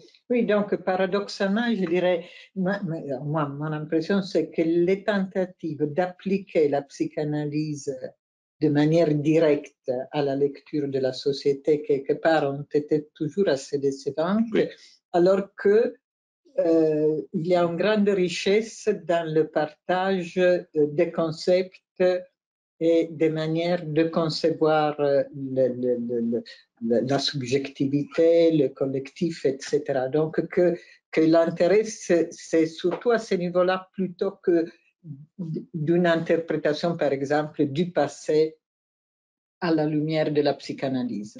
Je, crois que ces perspectives ont, fait long feu. On, sait aujourd'hui qu'elles ne sont pas pertinentes. Pas appliquer une lecture psychanalytique pour comprendre le passé, on ne peut pas appliquer une lecture psychanalytique pour comprendre les évolutions sociales, on ne peut pas appliquer une lecture psychanalytique qui viendrait comme ça se caler à partir de ce que l'on découvre en analyse, avec les concepts de l'analyse, sur l'histoire ou le social. Est-ce à dire qu'il n'y a plus de lien et de partage commun? Ben non, justement. Justement, c'est l'occasion de réinventer les choses, hein, de réinventer complètement les choses. Euh, lorsque, effectivement, je disais tout à l'heure que euh, les, travaux sur le genre ont eu une influence considérable pour revisiter un certain nombre de concepts psychanalytiques, il y a des psychanalystes aujourd'hui qui s'inspirent complètement de la théorie euh, queer sont toujours psychanalystes, quand bien même ils sont en rupture avec un certain nombre de choses. Ils sont en train d'être en dialogue permanent, donc même la psychanalyse s'enrichit, pour une fois. Les sciences sociales vont aussi aider la psychanalyse à s'enrichir, et je pense que la psychanalyse va complètement pouvoir enrichir les sciences sociales dès lors qu'elle n'aura plus cette prétention totalitaire à vouloir expliquer le social mieux que la psychanalyse. D'autant plus que Freud l'avait déjà dit hein, dans les nouvelles conférences sur la psychanalyse, il dit très bien, la psychanalyse ne doit pas être une nouvelle philosophie ni une religion, elle n'a pas vocation à tout expliquer. Et même lui, quand il le fait sur la psychologie des foules, l'avenir d'une illusion et autres, c'est moins pour expliquer la société que pour fonder l'inconscient dans son mode de fonctionnement. Il est moins, il est, il est, plus psychanalyste que sociologue ou, ou anthropologue. Eh bien, il faut prendre cela et essayer aujourd'hui d'entamer un, dialogue. C'est pas simple, c'est pas simple. Mais comme ça n'a pas été simple de travailler entre anthropologues et historiens pendant un temps, euh, voilà. Mais les historiens se sont mis à l'enquête de terrain, ils font des entretiens, ils ne les font pas de la même manière que les anthropologues, mais c'est extrêmement riche. Mais par exemple, quelqu'un comme Gézaro Haim ou Georges Devreux, je pense à des anthropologues qui ont été psychanalystes en même temps. Est-ce que leur euh, œuvre continue à être quelque chose d'important pour toi et peut être important pour les sciences sociales, selon toi? Je pense qu'en tout, s'agissant de Devreux, incontestablement, euh, pas tout, loin s'en faut. Euh, mais en tous les cas, il y a un livre qui pour moi reste très important, c'est de l'angoisse à la méthode, où justement il interroge, et ça c'est quelque chose qu'on espère faire dans le réseau si on a quelques instants, il interroge l'effet du terrain sur le, sur le chercheur, il ne considère pas que le chercheur est une pierre sur laquelle qui est insensible et qu'effectivement le contre-transfert du chercheur est extrêmement important par rapport à ces matériaux et il va forger un certain nombre de, concepts pour en rendre compte, c'est ce qu'il a appelé de l'angoisse à la méthode.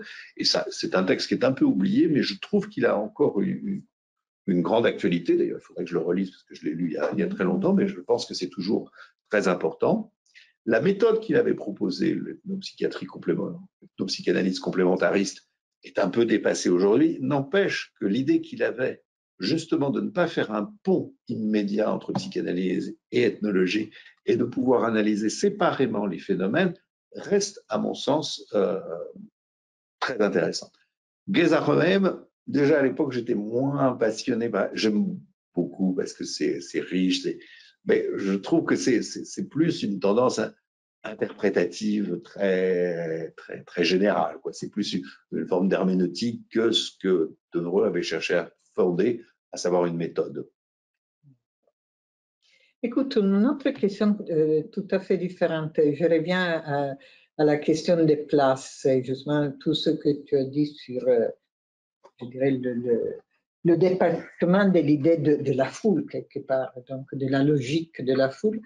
Euh, parce que euh, tout à l'heure, tu parlais justement de mémoire euh, et je me disais quel est le rapport de ces places avec la conscience historique et la mémoire? Peut-être c'est une question énorme, tu n'as pas, c'est trop grande, mais euh, je me disais si dans, dans ton travail sur les subjectivités, justement, et dans cette idée que euh, les subjectivités ne sont pas, je dirais, écrasées, massacrées, etc., est-ce qu'il y a quelque chose de spécifique dans le rapport avec le passé? Ça, c'est mon côté historien, historique qui, qui me pousse à te poser cette question.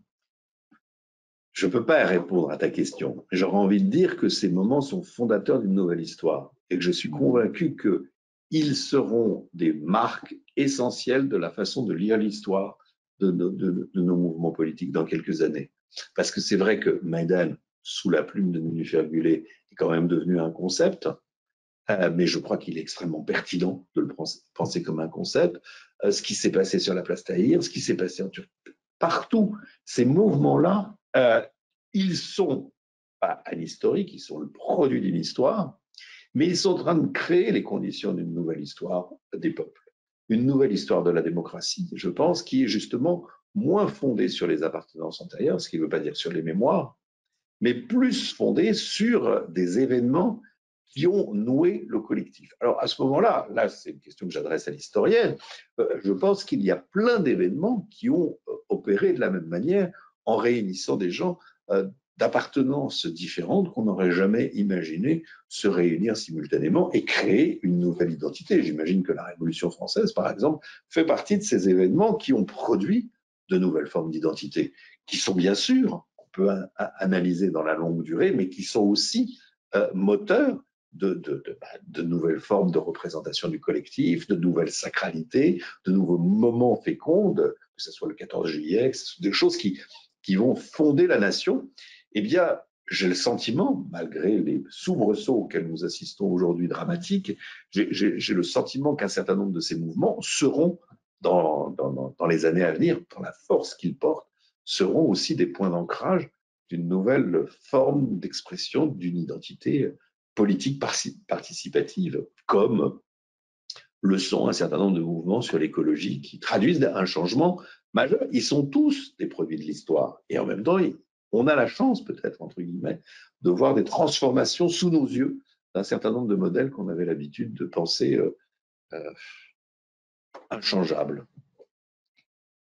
Et pour passer, parce que bon, donc toi, tu as une vision assez optimiste de ces places. C'est ma pathologie personnelle. C'est ta pathologie personnelle. Donc, euh, malgré ton travail sur le Khmer rouge et sur les génocidaires, tu gardes. Je suis du côté de la vie, résolument. Donc, euh, c'est très bien, surtout dans cette période où il y a des, milliers de morts euh, à côté de chez nous. Donc, mais mm, voilà, donc, euh, dans cette vision positive, je dirais, des mouvements politiques de, ces dernières années, de Maïdan à, aussi des choses plus françaises, etc.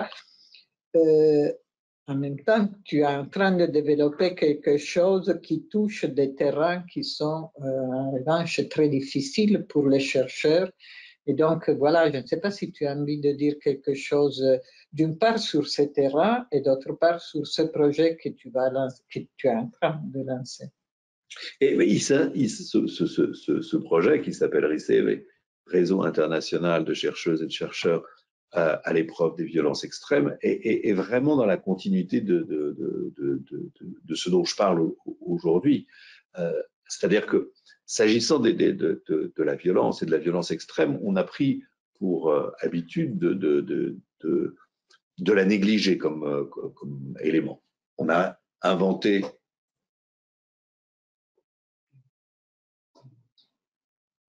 Peut-être. Euh, après, je répondrai après, oui. où j'en étais. Oui, donc on, on, sait, on sait depuis longtemps hein, que le fait d'avoir été témoin de violence ou d'avoir dû travailler des heures et des heures sur des textes absolument épouvantables, sur des images d'assassinat. De, Moi, quand j'écrivais mon livre sur, sur, les génocidaires, outre les entretiens que j'avais, j'avais aussi euh, une multitude d'images absolument terribles, les unes plus, plus terribles les unes que les autres. Ça a des effets sur le chercheur. Alors, les Américains ont inventé la notion de traumatisme vicariant pour expliquer qu'on pouvait être soi-même traumatisé par le témoignage de ceux qui avaient été traumatisés par des images et que ça se transmettait. C'est une notion qui n'est pas du tout euh, absurde et que je ne critique pas. Mais je pense que ça n'épuise pas du tout, du tout le sujet, la question de l'effet que produit la violence sur les témoins, comme on l'a vu tout à l'heure avec la question de la post-mémoire, comme on le voit avec la nécessité de mettre des lieux de mémoire, les violences extrêmes touchent le corps social dans son ensemble. Pourquoi est-ce qu'on maltraite les corps? Après la mort C'est pour toucher le corps social. Pourquoi est-ce qu'il y a des violences sexuelles de guerre? C'est pas simplement pour abuser des femmes, c'est pour détruire la, justement la continuité, pour humilier, pour détruire ces femmes et pour détruire le corps social à travers ces femmes. Donc la violence cherche toujours à aller au-delà des corps qu'elle martyrise. Comment peut-on faire l'hypothèse qu'elle ne toucherait pas ceux qui travaillent dessus? Donc l'enjeu de ce réseau, c'est de faire de ces effets un objet de recherche en sciences sociales, bien sûr influencé par une lecture psychanalytique, mais pas par une lecture psychopathologique. Il ne s'agit pas simplement de dire, voilà, ça, peut traumatiser aussi. Si ça traumatise, on va voir un psychiatre, on va voir un psychologue, on, en fait quelque chose. Mais il y a un objet là qui n'est pas souvent exploré. Par exemple, comment un chercheur sélectionne les images qu'il va diffuser. Lui, il les voit, mais il y en a certaines où il va dire non, celles-là, je ne peux pas les montrer. Moi, j'aimerais savoir pourquoi. Qu'est-ce qui, quel est le, qu'est-ce, mouvement intellectuel qui lui fait sélectionner ces images qu'il va diffuser ou pas diffuser, les récits qu'il va euh, colliger les effets qu'il ressent physiquement comme étant un objet qui correspond à ce que la violence fait, la violence extrême, j'entends, fait à l'ensemble du corps social, y compris, c'est plus dur à dire, mais y compris l'indifférence. Parce qu'il est vrai aussi qu'à force de travailler là-dessus, au bout d'un certain temps, on tourne les pages, on dit, ah, tiens, ça ressemble. Et en même temps qu'on tourne les pages et qu'on dit, tiens, on comprend des choses. Moi, si j'ai pu travailler aussi sur la question de l'indifférence, c'est qu'au bout d'un certain temps, à force de travailler là-dessus, il y a eu des moments où je me suis senti presque indifférent parce que je. Mais, est-ce que c'est une véritable indifférence? Parce que peut-être il y a aussi des niveaux, c'est une différence euh, apparente. Après, il y a peut-être quelque chose qui nous touche, qui est un peu couvert par euh, une sorte d'indifférence aussi, non? Peut-être, mais euh, euh quand je dis que je me suis senti indifférent, c'est moins par rapport à ce que je travaillais que de me rendre compte à quel point j'étais indifférent à ce qui se passait sous ma porte. À savoir que j'étais indifférent à ces centaines de morts en Méditerranée de gens confiés, que j'étais indifférent, jamais été puisque j'ai toujours travaillé avec les, réfugiés, mais que certains pouvaient être indifférents au sort de ces Afghans qui, n'arrivaient pas à avoir de, papier, qui étaient complètement invisibilisés. Donc le rapport même à la violence extrême, introduit une meilleure visibilisation d'un certain nombre de, faits que bah, les, gens qui ne travaillent pas là-dessus ne, voient pas. Et c'est vrai quand on rencontre des chercheurs et des chercheuses qui travaillent sur des, sur des crimes majeurs, eh bien, ils ont une incroyable sensibilité à plein d'autres crimes. Ce qui est quand même un point qui fait que l'effet de la violence permet de saisir cet objet-là. Alors, ça n'a jamais été véritablement pensé. On, l'imagine comme étant quelque chose qui a à voir avec, euh, la, psychologie, la psychopathologie, les tendances personnelles. On peut les sortir aussi des, mouvements intrapsychiques de chacun pour en faire quelque chose de commun. Alors, comment on fait ça? La seule façon de le faire, c'est un réseau. C'est-à-dire que c'est un réseau qui va permettre qu'on travaille ensemble ces questions, que moi, je n'ai pas la solution à tout. J'ai des perspectives, j'ai des idées, mais ce qui va m'importer, ce qui va nous intéresser, c'est qu'il y ait des différents types de dispositifs qui se mettent en place, que les gens puissent parler de leurs recherches, des faits que ça produit, qu'est-ce que ça veut dire. Donc, c'est un réseau qui est organisé par euh, la Maison des sciences de l'homme, l'école, voilà. les études, et après, tu as des partenaires à l'étranger. Alors, c'est fondé. Pas, pas seulement Richard, le réseau.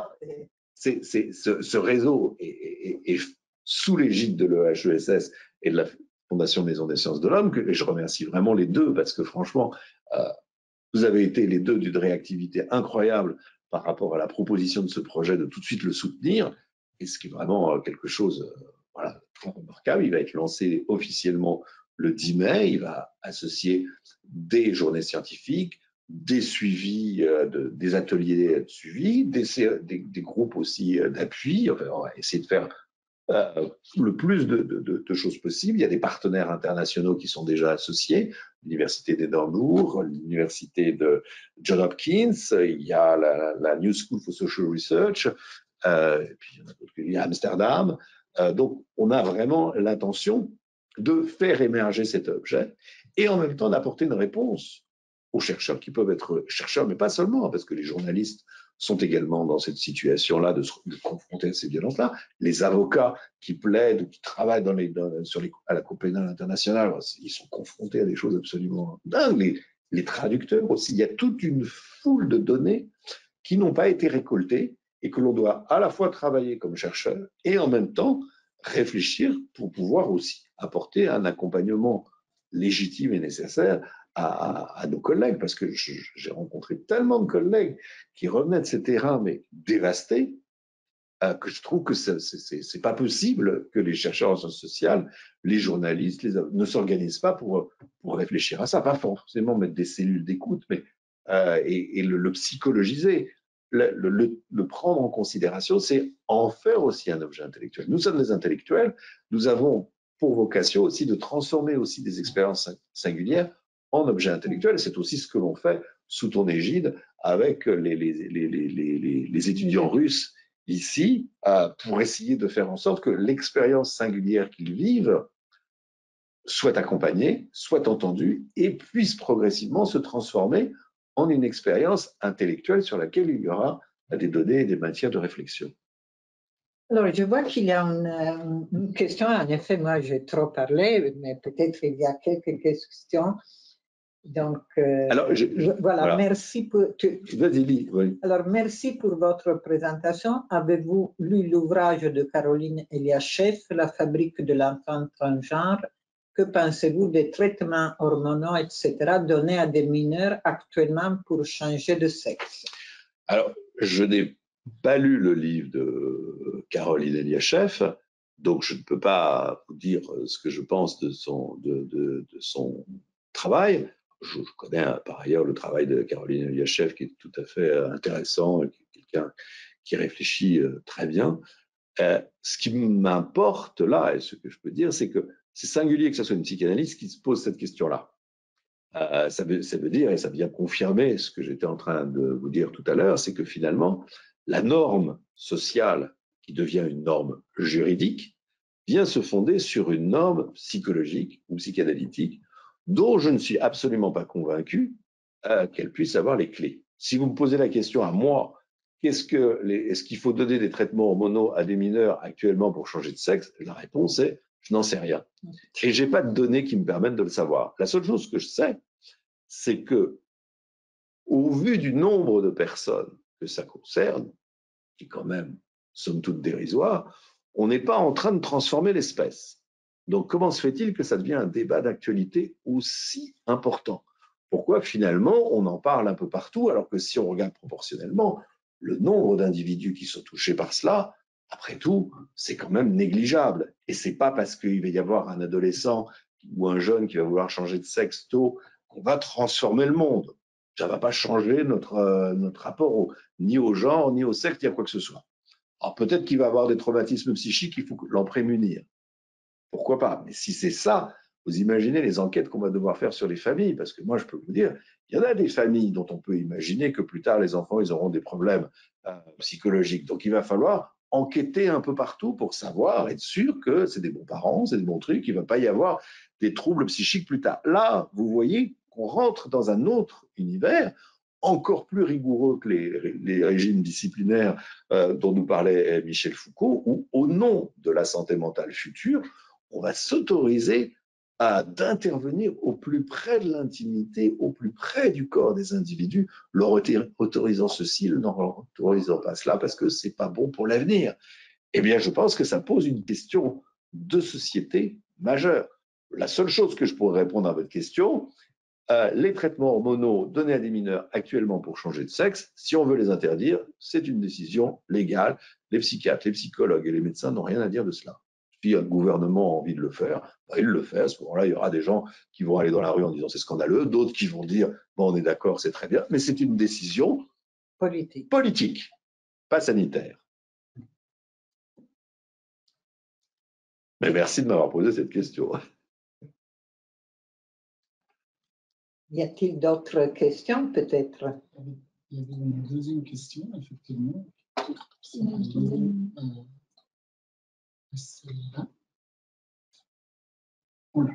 Ah, ça, c'est une question de fond. Ne confondez-vous pas sexe et genre? Ah ben, Je crois avoir justement essayé de tout faire pour ne pas le, pour ne pas le confondre, mais si mon propos n'était pas clair, j'en suis désolé. Hein. Pour moi, il y a une vraie différence entre encore que. Sais, non, en fait, je, ne saurais pas dire s'il y a une différence entre sexe et genre. Je pense que le genre remplace le sexe, donc euh, la question, la notion de sexe est moins pertinente aujourd'hui et seule la question de genre devrait euh, être, euh, enfin, dans mon, dans mon esprit, dans ma façon de le penser, est prédominante.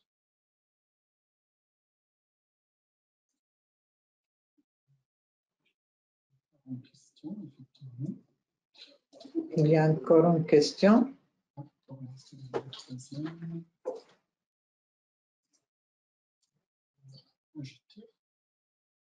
Merci beaucoup pour cette présentation. Pourriez-vous revenir sur l'influence réelle ou potentielle du mouvement queer sur l'ouverture de la psychanalyse ou bien sur l'influence de la psychanalyse sur le forgeage du mouvement queer, s'il y en a eu? Alors, euh, les, deux questions sont très pertinentes et j'ai malheureusement pas la documentation sur moi pour vous apporter toute la littérature très abondante qu'il y a aujourd'hui. Euh, je vais commencer par la deuxième, l'influence de la psychanalyse sur le forgeage du mouvement queer. Oui, incontestablement. Incontestablement, parce que c'est quand même dans un dialogue avec la psychanalyse que les mouvements féministes, et tout particulièrement euh, Judith Butler, a réussi en reprenant les, ébauches euh, foucaldiennes, a euh, introduit la question queer. Donc il y a une influence de la psychanalyse, que ce soit à contrario, ou que il y a, y eu un débat extrêmement fécond hein, entre Butler et la psychanalyse pour justement penser le queer, en s'opposant à cette dichotomie majeure qui avait été mise en place de la différence des, anatomique des sexes, que Lacan avait justement essayé de changer. Euh, c'était pas, euh, plutôt réac, hein, un peu conservateur, donc c'était pas. Mais justement, il, il, dérive un petit peu par rapport à, à, Freud en introduisant le primat du phallus, le primat du phallus qui n'est pas le pénis, hein, qui est une instance, si l'on veut, qui représenterait la différence des sexes et qui pourrait justement valoir indépendamment du sexe et pour le, coup euh, est, plutôt du côté du, genre. Et c'est là-dessus que justement euh, Judith Butler et celles qui vont prendre la suite de Butler euh, vont s'appuyer pour, penser le, le, le, mouvement queer. Donc effectivement, à la base, c'est pas une influence de la psychanalyse, mais c'est un débat quand même avec la psychanalyse qui, à mon sens, a eu euh, un, effet significatif sur le développement du mouvement queer. Maintenant, l'ouverture de la psychanalyse au mouvement queer, ah ben alors là, aujourd'hui, il y a énormément d'auteurs, il, il, y a un mouvement qui est presque explosif au sein des associations analytiques par rapport à la question queer, où un certain nombre de chercheurs, euh, je pense à Sylvia Lippi, les noms m'échappent, la le, le, le, plus important, là, pas possible que son nom m'échappe. Oh, euh, quelle nationalité? Italien, je crois, je ne sais plus comment il s'appelle. Ah, c'est oh. Euh, Vittorio Lingiardi Non, je ne sais plus. Et j'en ai, invité à un moment de séminaire il y, a, il y a trois semaines, comment se fait-il que j'ai oublié son nom? Qui est psychanalyste, euh, chronique de la théorie queer. Et oui, ça a une influence considérable, presque dévastatrice. Hein. Toutes les écoles de psychanalyse aujourd'hui sont obligées de se préoccuper de cette question et sont obligées de réfléchir à, l'influence qu'a la, théorie queer et la question du genre. Hein et non pas du sexe, hein, dans, euh, dans, la, pratique analytique, comment on écoute un sujet qui vient avec une question comme cela? Est-ce qu'on lui dit, euh, voilà, c'est c'est euh, juste euh, question sociale ou est-ce que est-ce que c'est une réalité incontournable? Eh bien, ça devient une question centrale. Pour le moment, elle n'est pas achevée, mais je suis très convaincu que dans les années à venir, ça va avoir des effets, j'espère, extrêmement stimulants sur la, sur la psychanalyse. C'est déjà le cas. Hein. Et tu, dans, dans le silence de cette question très importante, tu as l'impression qu'il y a des différences euh, géographiques, je dirais, dans cet échange aux, États. Tu, as nommé, évoqué Judith euh, Butler. Euh, donc, est-ce qu'il y a entre les États-Unis et nous, nous, Europe, des, décalages de ce point de vue important Et j'ajoute, est-ce qu'il y a des décalages à l'intérieur de la famille psychanalytique par rapport à, je dirais, à la filière kleinienne. Est-ce que il y a, est-ce que tu peux dire quelque chose Oui, il y, a, il y a beaucoup de différences. D'abord, je crois qu'il faut resituer ça dans un contexte euh, géopolitique important. Mm-hmm. C'est-à-dire que la place de la psychanalyse en France et la place de la psychanalyse aux États-Unis n'est pas du tout, du tout la même. Aujourd'hui, la psychanalyse en France est très préoccupé de sa place dans le dispositif de soins et dans le dispositif de santé mentale.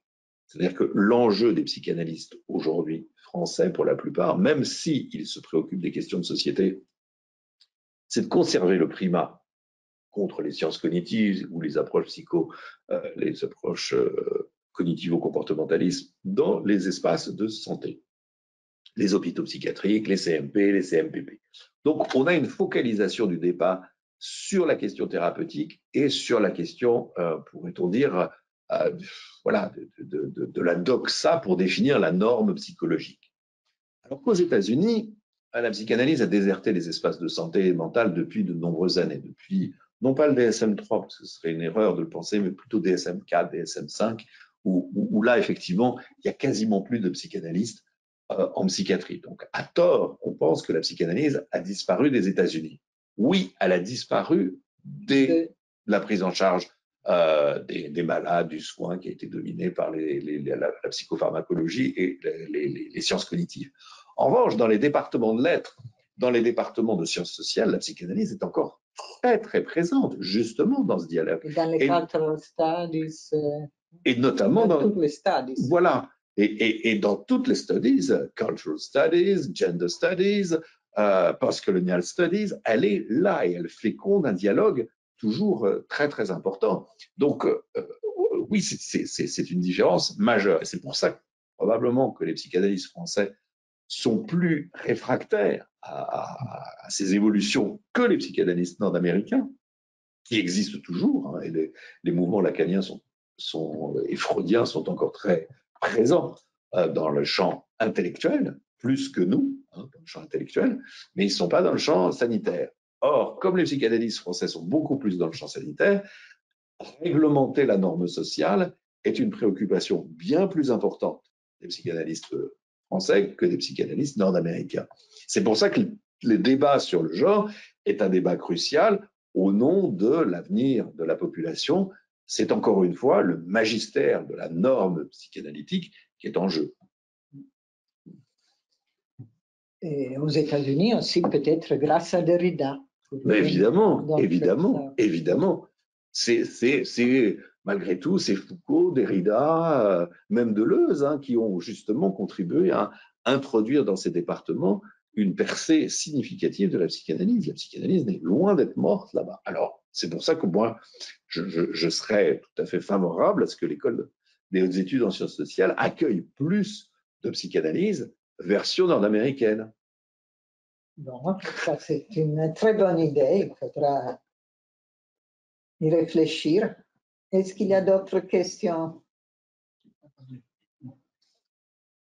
Alors, je ne sais pas, est-ce que tu as quelque chose pour terminer cette riche séance ajouter Non, je, voudrais juste te, remercier et remercier euh, cette initiative du, mois de l'international de, de, redonner une place à la psychanalyse dans le champ des sciences sociales. Je trouve que c'est un débat extrêmement riche qui, à mon sens, ne fait que redébuter, mais qui justement, avec les nouvelles conceptions, les nouveaux enjeux, peut s'avérer euh, extraordinairement fécond. Donc, euh, non, non, je, je, je suis ravi que comme tu le sais, j'en suis convaincue. Donc, je, pense que c'est très important justement d'ouvrir d'une nouvelle manière la, question de, du rapport avec la psychanalyse. Et donc, euh, voilà, j'espère que ça, ce n'est un premier pas et pour, de manière ouverte. il y a ton séminaire et j'espère que nous pourrons avoir d'autres occasions si collectives pour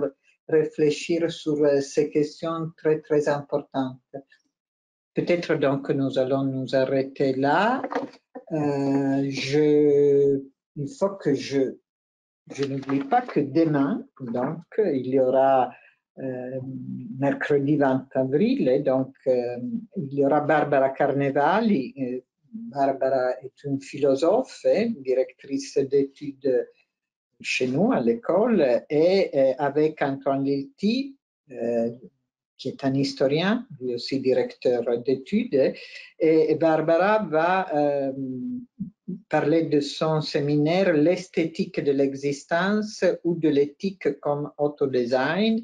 Et, en tant que discutant, il y aura Simona Forti, qui est une philosophe spécialiste de Hannah Arendt, que nous venons de citer euh, aujourd'hui et qui est euh, en France euh, en tant qu'invité par, l'école.